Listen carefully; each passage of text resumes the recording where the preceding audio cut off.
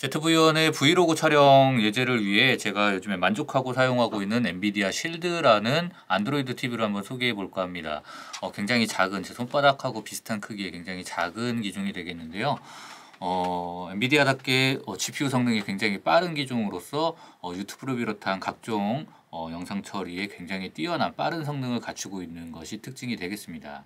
지금 해당 기종 같은 경우는 어, 어댑터 입력 단자, 네트워크 입력 단자, HDMI 단자, USB 입력 단자 두 개가 탑재가 되어 있는 어, 2세대 어, 제품이 되겠습니다. 3세대에서는 좀 더 작은 크기가 되어서 원통형이 되었고 프로 버전이 어, 이 기종하고 지금 이 모습하고 비슷한 모습을 하고 있습니다. 기본적으로 굉장히 단순한 작은 크기를 가지고 있고 음, 사용하는데 굉장히 편리하다라는 것이 큰 특징이 되겠는데요. 어, 기본적으로 2세대 같은 경우는 지금 이런 게임 패드랑 어, 리모컨이 함께 제공이 되는 것이 특징이 됩니다. 어, 3세대에서는 리모컨이 좀 더 skip 버튼이라든가 다양한 버튼이 좀 탑재가 되었는데 2세대 리모, 리모컨만 하더라도 상당히 편리합니다. 버튼을 각종 버튼들이 십자 버튼을 중심으로 사용하는데 어, 최적화가 짜임새가 잘 되어 있기 때문에 유튜브라든가 넷플릭스 이용에 상당히 편리하게 사용할 수 있고 구글 홈 기능을 통해서 음성 인식 기능을 사용할 수 있는 기능도 제공이 됩니다.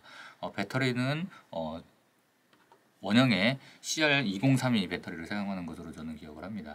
어, 게임 패드가 되겠는데요. 3세대에 와서는 별매의 액세서리가 됐습니다. 뭐 프로에서 키트 버전으로는 같이 나오는 것 같기도 합니다만 기본적으로 2세대에서는 기본 제공인데 별매로 좀 바뀌었다는 점은 약간의 아쉬움을 남기긴 합니다. 게임 기능을 사용하는 사용자들하고 라면 어, 거의 뭐 플레, 플레이스테이션 3 정도에서 4까지, 4 초창기까지도 어느 정도는 커버하는 수준의 어, 그래픽 성능과 게임 성능을 가지고 있고 어, 기본적으로 무료인 제품 그 게임들도 상당히 많기 때문에 좀 편리하게 쓰실 수가 있습니다. 하지만 이 게임 패드 같은 경우는 좀 위아래 방향이 좀 오류가 나는 때때로 그래서 다시 이렇게 풀어주면 또 정상적으로 됐다가 또 다시 쓰다 보면은 뭐 해당 기능이 막 커서가 위로 올라가는 이런 고질적인 좀 버그를 좀 가지고 있어요.